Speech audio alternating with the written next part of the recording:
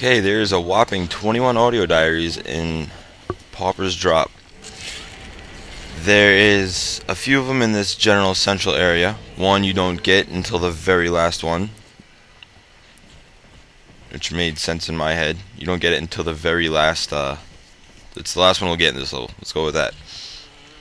So you do that. Um, it's not very hard to navigate. Of course, as always, I get these in the order you will get them. As much of a pain in the ass that is, because I actually have to go back and get them all. I do it for the professionalism of this video and for the sake of you guys. And by the way, this is for nextgenwalkthroughs.com. This is Mr. Fraggs from ArmageddonGaming.com. So, the next level, Siren Alley, has even more audio diaries. So the video is probably going to be a little bit longer. I don't know how, but I managed to cut this one down uh, lower than the last one. Whatever I did there. The thing about this one though, there may be one or two of them out of order due to the fact that there's no definite order you can tackle these and it depends if you actually beat the level first or um, go after them while you're doing it.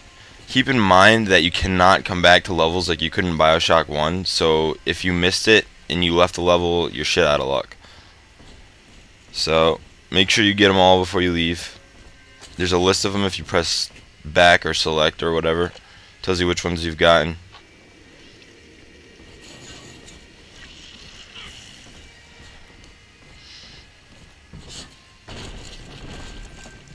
So this one's a little tricky to get to. You can't really go through the front door. You gotta go through that little hole in the wall.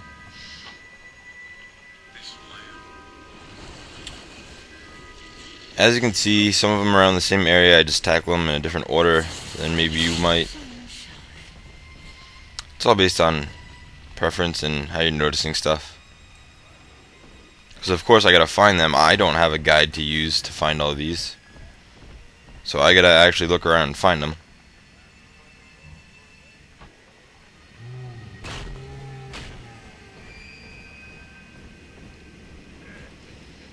So if one of them's out of order, give me a break. Because even after I find them all, I gotta go back in the editing process, post-production, and put them in order. And you'll see towards the end of the video, I actually picked one up, but I very cleverly described how to get it. Not really cleverly, it's just kind of a little annotation.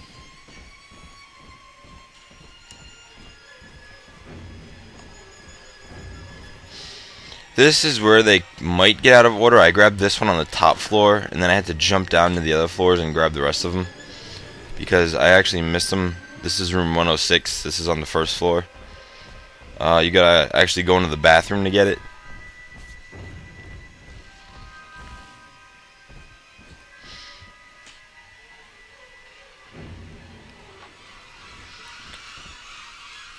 And then this is a little bit before where I got the one on that balcony. You just gotta run up here where there's broken floors and grab it. That one's a little tricky to find.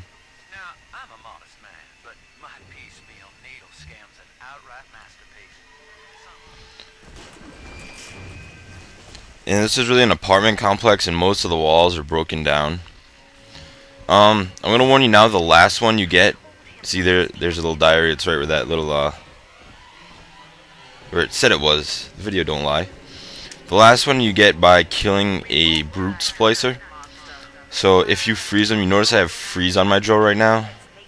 And uh, I actually killed a brute splicer before him.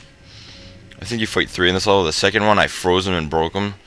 So don't freeze him because if you break him, you cannot loot him.